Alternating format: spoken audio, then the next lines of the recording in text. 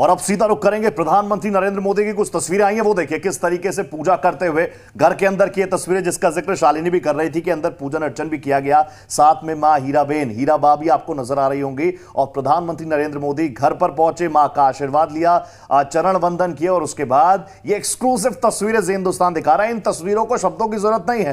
पूरी भाव इन तस्वीरों में आपको नज़र आ जाएगा किस तरीके से एक बेटा अपनी माँ से मिलने पहुँचा है, आशीर्वाद लेने पहुँचा है। और उसके बाद ये देखिए जरा तिलक करते हुए ये तस्वीरें देखकर रोहित ऐसा लग रहा है कि आज जन्मदिन के मौके पर भगवान की जगह माँ का ही उन्होंने पूजन अर्चन किया है तिलक लगाया है उन्हें आप देखिए फूल फूलों का हार उन्हें चढ़ाया है। और ये देखिए जैसे भोग लगाते हैं ना माँ के मुँह में खुद से मीठा खिलाते हुए अब ये माँ हीराबेन भी दिखाई दे रही है प्रधानमंत्री नरेंद्र मोदी को मीठा खिलाते हुए।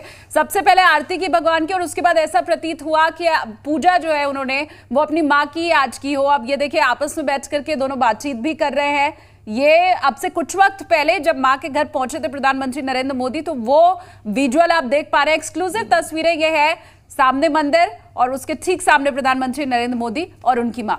मातृ पूजन यहाँ पर प्रधानमंत्री नरेंद्र मोदी करते हुए नज़र आए, भगवान का भी आशीर्वाद लिया। और देखिए, साथ में माँ भी हैं, उनसे बड़ा क्या हो सकता है? उनका भी आशीर्वाद देते हुए प्रधानमंत्री नरेंद्र मोदी इस वक्त नज़र आए। कहीं ना कहीं पूरा देश इन तस्वीरों को देख रहा है और इमोशन जो है, क्योंकि देश ही हमारा बहुत भावनात्मक देश है, इन तस्वीरों को देख रहा है, समझ रहा है। लेकिन आज का दिन बेहद खास होते हुए ना सिर्फ़ गुजरात के लिए, बल्कि प्रधानमंत्री नरेंद्र मोदी के लिए भी कि उनकी माँ, उनकी माता श्री शतायु सौ वर्ष पूरे हो चुके हैं।